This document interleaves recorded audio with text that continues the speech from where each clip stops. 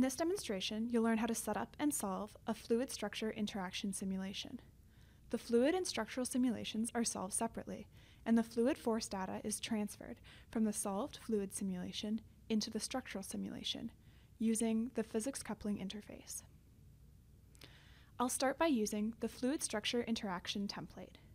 I'll allow configuration so that I can suppress the structural and flow bodies in the respective simulations, and I'll create the simulation process. Two simulation processes are created, and the template has renamed the physics tasks to flow and structural. I'll import the geometry. And now I'm ready to set up the simulation. Let's skip ahead to focus on the fluid to structural physics coupling. First, I'll solve the fluid simulation. I've already suppressed the structural body and meshed the flow body. In the flow physics task, the material assignment is air. I've already set the boundary conditions. Here are the inlets, the outlet, and the wall on the inside of the pipe. I'll be able to send force from this wall to the structural simulation, so I'll see this wall later in the physics coupling interface. Now, I'll solve the fluid simulation. In the fluid results, I'll add a contour to review the pressure on the pipe.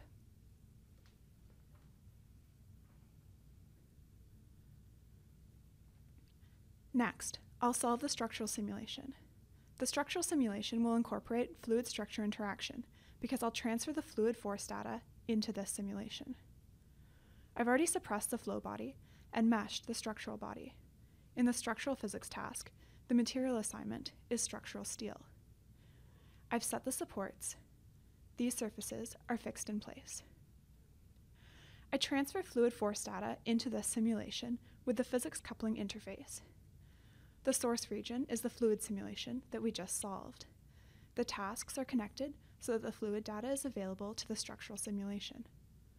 All of the walls on the fluid simulation are automatically selected, so the wall we looked at earlier is selected here. For the target location, I'll use a predefined selection set to select the surfaces on the inside of the pipe. The data transfer is ready to go. Now, I'll solve the structural simulation.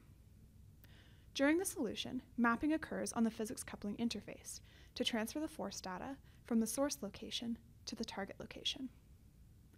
Now, I'll go through some of the results. The displacement shows where the pipe is bending due to the fluid force. The deformation is exaggerated. The actual displacement of the pipe is quite small. And here is the equivalent stress. I have now successfully completed a fluid structure interaction simulation. I've solved the fluid simulation, and I've solved the structural simulation, using the physics coupling interface to transfer fluid force onto the inside walls of the pipe.